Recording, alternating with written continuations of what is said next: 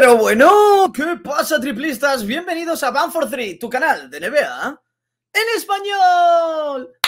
Cuidadito con Golden State Warriors, porque Jordan Poole puede explotar esta temporada. Está por ahí Otto Porter Jr., sigue estando Curry, vuelve Clay, está Iguodala, está Draymond. Cuidadito con Wiggins, cuidadito con Golden State Warriors, que le puede ganar a cualquiera. Dentro When I was a bitter child, I was born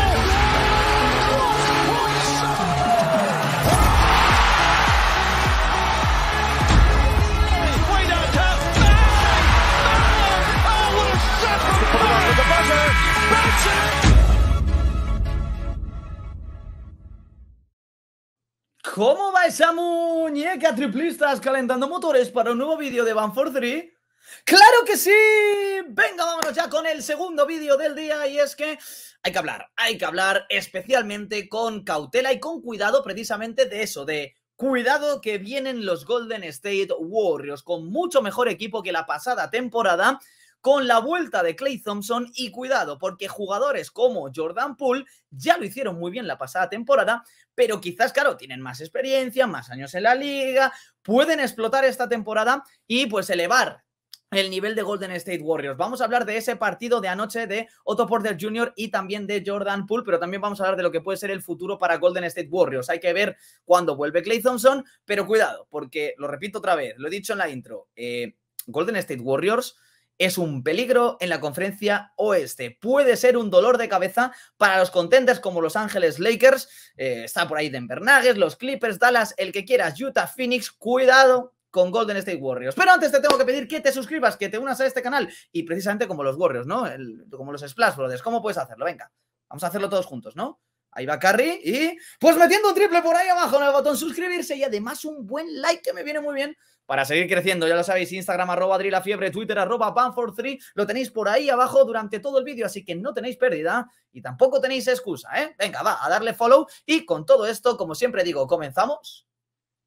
¡Comenzamos! ¡Claro que sí! ¡Claro que sí! Vamos a hablar de Golden State Warriors, porque los Warriors ayer jugaron contra Portland Trail Blazers el primer partido de temporada, eh, iba a decir regular, ¿no? De la pretemporada, de la pre-season. Y es que, bueno, pues al final eh, uno se encuentra con alguna que otra sorpresa que no es tan sorpresa, ¿no? Y es que parece que los Warriors parezca que no, que no hayan fichado a lo grande, que al final Ben Simmons no lo han conseguido, que Bradley Bill tampoco, que no han conseguido pues a Porzingis, ni a Carl Anthony Towns, ni a nadie, no han conseguido a ningún gran nombre y se han quedado más o menos con lo que tenían, pero han hecho algún que otro fichaje como Iguodala, como Otto Porter, bueno, algún que otro fichaje también como Every Bradley, que parece que se va a quedar en la plantilla, que hace ver que han mejorado, han mejorado la plantilla. Carrilla no está tan solo, luego están los rookies como Kuminga, vamos a ver la evolución de James Wiseman y cuando vuelve, pero también va a ser muy importante James Wiseman en su segundo año, en el, en el año sophomore.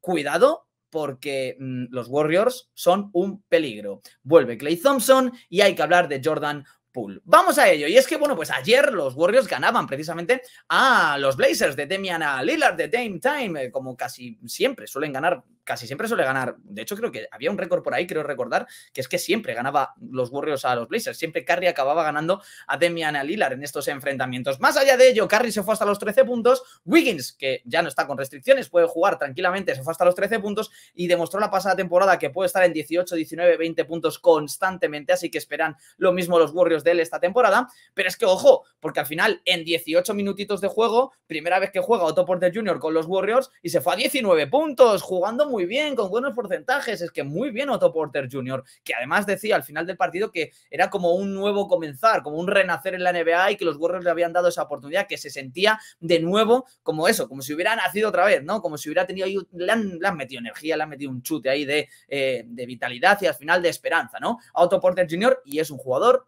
con mucha calidad. Así que cuidado con los minutitos de importancia en los Golden State Warriors de Otto Porter Jr. con 19 puntos en 18 minutos ayer. Pero es que el jugador del partido y el que, mm, cuidado con el sexto hombre de la liga, que puede meterse ahí en la lucha con algunos que otros, es Jordan Poole. Ya se veían cosas muy buenas la pasada temporada, pero muy buenas la pasada temporada. Pero es que en el primer partido de pretemporada, es que, es, que lo ha petado, es que, es que se ha salido 22 minutos solo de juego, ¿eh? 30 puntos para Jordan Poole haciendo de todo. Este tío las mete de todos los colores. Este tío se le caen los puntos. 30 puntos en 22 minutos de juego. Victoria de los Warriors sobre los Blazers. Ahora bien, nos vamos a la temporada pasada, por ejemplo, de Jordan Poole. Jordan Poole la temporada pasada con los Warriors jugó 51 partidos y eh, jugó 19 minutos eh, de juego. 20 minutillos, ¿ve? Para redondear, 20 minutitos desde el banquillo, donde estuvo con un 12 eh, puntos por partido, muy buenos 12 puntos por partido en 19 minutos. O sea, si esto se eleva un poquito, está en la lucha por el sexto hombre, ya lo digo yo.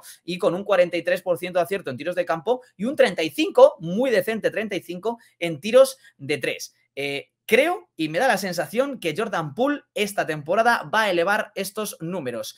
De 12 pasará a 15, más o menos, 14, 15 y creo que va a tener mejores porcentajes porque va a haber más huecos porque el equipo no va a estar todo tan centrado en, eh, en Stephen Curry. Por lo tanto, Jordan Poole explotando, un jugador desde el banquillo tremendo que muchos de vosotros cuando hacemos, o muchos de nosotros cuando hacemos las cuentas y pensamos Milwaukee, los contenders, Lakers, tal, Brooklyn, tal, nadie piensa en Warriors, claro, tiene jugadores tan jóvenes, tiene jugadores tan melones por abrir, ¿no? Que todo se focaliza en Curry, tal, Draymond y Wiggins y poco más, pero al final estos chicos, como alguno, como alguno o un par de ellos exploten esta temporada, los Warriors, repito, son muy peligrosos. Ojo, Jordan Poole creo que va a ser eh, temporada temporada de explotar, temporada de cuidado con el sexto hombre del año que lo va a estar luchando. ¿eh? Y por otro lado, Otto Porter Jr., que su temporada con los Chicago Bulls son 25 partidos la pasada temporada, 20 minutos de juego también y 10 puntos por partido, eh, con un 40% en triples. Claro, es que este jugador tiene mucho talento. O sea, se vino muy abajo, le traspasaron a Orlando Magic, jugó solo tres partidos, pero este jugador tiene mucho talento. Repito, 40% de acierto en triples la pasada temporada y 10 puntos por partido en 20 minutos de juego. Eh, es un jugador que le puede ofrecer muchas cosas a Golden State Warriors. Por lo tanto, entre la subida de nivel de Jordan Poole y la llegada de Otto Porter Jr., más la experiencia, el buen rollo, el colegueo, es que Iguodala, estoy hablando de Iguodala, ¿no? Experiencia, buen rollo, ya están los Warriors, ha ganado, ha sido MVP las finales, todo esto eh, suma en una, en una franquicia como los Golden State Warriors, sobre todo también en el banquillo, ¿no? De André Iguodala. Y luego está Every Bradley, que creo que como base suplente de Curry es tremendo, defensa, puede anotar de tres. Eh, creo que los Warriors son bastante mejor equipo que la temporada pasada y no estamos hablando ni de Curry ni de Clay Thompson. Ahora vamos con ello. Y es que, más allá de Wiggins, hemos hablado de él, que va a seguir en sus puntos, va a seguir metiendo sus puntos. Los nuevos, eh, eh, también los que ya estaban, que pueden mejorar el nivel como Jordan Poole. A ver qué tal la segunda temporada de James Wiseman cuando vuelva de su lesión. Eh, son grandísimos jugadores. Draymond Green va a seguir haciendo lo que sigue haciendo siempre. Y luego están los Splash Brothers. Y es que ahí es donde reside todo. ¿Cómo vuelve Clay Thompson? ¿Cómo va a volver Clay Thompson? No lo sabemos. Si vuelve a un nivel como el que ha vuelto Kevin Durant de sus grandes lesiones, sinceramente, los Warriors pueden soñar, porque Curry se va a mantener al mismo nivel que la temporada pasada, eso ya lo tenemos claro, va a estar a nivel de MVP, Curry va a seguir haciendo estragos en la liga. Ahora bien, como Clay vuelva a un no un 100%, pero como vuelva a un 80, un 85, un 90% de lo que fue y de lo que era, los Warriors pueden ser contenders de la liga. Es que ya podemos ponerles ahí. Creo que lo van a hacer muy bien. Tienen un entrenador como Steve Kerr, tienen una grandísima plantilla, más allá de que no se hayan movido. Repito, están los rookies, está Kuminga, está, que son jugadores que pueden aportar cositas ya. Cuidado, repito, con Golden State Warriors. A ver, ah, te van a decir, Adrián, estás loco, Lakers es mucho más favorito. Correcto. Milwaukee, Miami, muchos más favoritos, correcto. También es mucho más favorito Brooklyn Nets, que para mí es el mayor favorito de la liga, por encima incluso que de Los Ángeles Lakers, correcto.